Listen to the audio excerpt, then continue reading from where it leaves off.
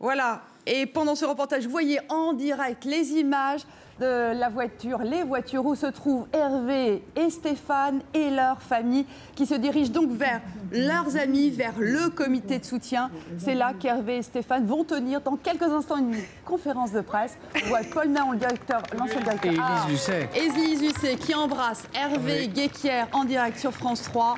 Hervé Guéquière en bonne forme et Stéphane Taponnier, ils n'ont pas Voilà. changé. Euh, ils sont avec nous. Ils sont, on l'attend Voilà. justement, hein. C'est à vous, vous êtes en direct. Voilà, on est en direct, euh, on est en direct sur France 3. Hervé et Stéphane sont avec nous. Hervé, Stéphane, les retrouvailles évidemment avec toute l'équipe de Pièces à Conviction, l'équipe de France 2, de France 3.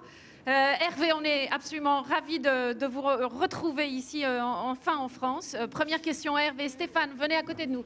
Stéphane, venez. Hervé, Stéphane, comment allez-vous tout simplement? Première question. Ça va, on atterrit au sens propre du terme, parce qu'on vient d'arriver, et au sens figuré du terme aussi, il se passe plein de choses dans la tête. Il y a énormément de monde apparemment, et ça fait du bien d'être là, franchement. Ça fait du bien. Vous touchez le sol du tarmac, là, ça y est, vous êtes tellement heureux. Je vois qu'il n'y a pas que des journalistes, je vois mes amis aussi. Mais bien sûr, il y a tout le comité de soutien qui est là pour vous accueillir. Euh, Stéphane, est-ce que vous êtes, je vous, en- je, vous- je vous coupe quasiment en, en pleine embrassade, est-ce que vous vous sentez euh, euh, en forme, j'allais dire, en marge de cette arrivée qui est un moment d'euphorie? Est-ce que vous avez bien résisté à ces 18 mois de détention? ouais, ouais. Oui, ça a été long. Il y a eu des longs tunnels noirs, en particulier le dernier qui a quand même duré février, mars, avril, mai, là, ces derniers mois, où on voyait rien venir. Ça faisait. Ça faisait six mois que ça faisait six mois qu'on n'avait pas fait une vidéo de preuve de vie, etc. Et franchement, euh, là, euh, les 15 derniers jours, on sentait que ça bougeait. On sentait que ça bougeait, qu'il allait se passer quelque chose. Mais comme il y avait déjà eu des échecs, 3-4 échecs à peu près, euh, on était vraiment super prudents. Et jusqu'au dernier moment, à un quart d'heure, je me souviens parce qu'on a pris une douche, on s'est dit si on prend une douche, c'est qu'on va partir. Ouais. Jusqu'au dernier moment, on s'est dit c'est bon, c'est pas bon, c'est bon, c'est pas bon. Ils nous ont dit allez, maintenant c'est bon. Racontez-nous quand vous avez réalisé que c'était bon, que vous étiez euh, enfin libéré après ces 18 mois de détention. Euh, bah, C'est-à-dire que là, on est parti euh, dans un village afghan, on savait pas trop. où on- enfin, on savait où on était en fait, le Capissa, ça c'est sûr. On nous a dit vous êtes à Tagab, vous êtes ailleurs, qui est une des grandes grandes villes, une des grandes villes, il n'y a que des petites villes en Capissa, mais une des grandes villes de, de Capissa. Puis on a fait un long, long tour de 35-40 minutes. Puis là, on, a, on est descendu de voiture. Là, il y avait, euh, il y avait des, pas mal de, de talibans et on voyait aucun Français. Et on s'est dit, Vous avez bon, euh, il n'y a pas d'échange, il n'y a pas de...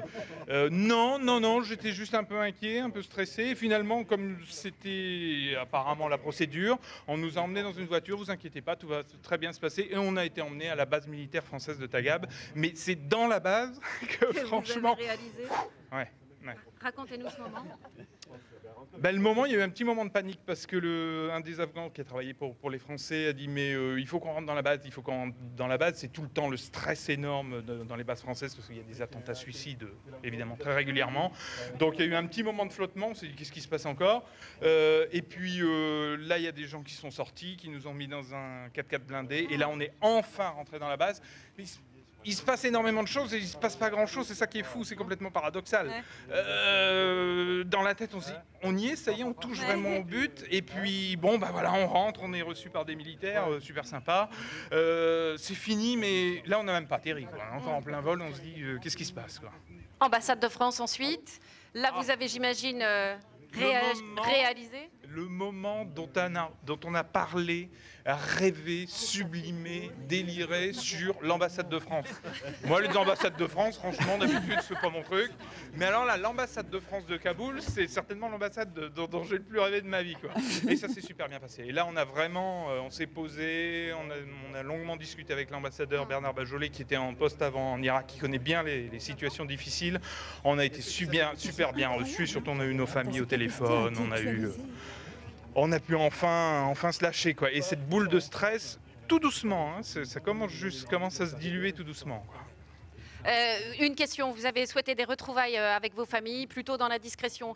Est-ce qu'on peut vous demander simplement comment vous avez vécu ce moment, sans vous demander de détails, bien, sûr, puisque ces moments vous appartiennent, mais euh, j'imagine que ça a été un moment extrêmement fort pour vous de retrouver vos proches après 18 mois de détention. Bah, déjà la, vie- la descente de l'avion, on arrive, bon bah, moi il y avait Béatrice, mon amie qui était là, maman n'était pas là parce que maman a 84 ans, elle a quelques problèmes de santé, mais la famille de, Stéphane Taponnier aussi, bah, c'est le moment qu'on attend le plus.